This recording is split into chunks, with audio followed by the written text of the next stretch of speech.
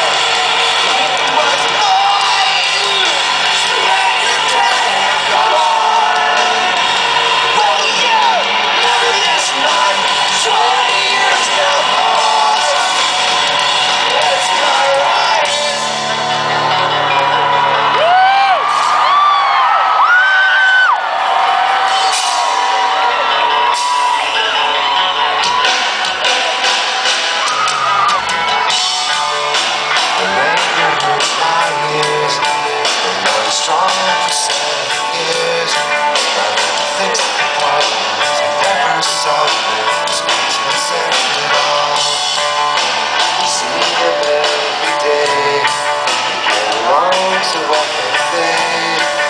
this is what he wants, it's what she wants.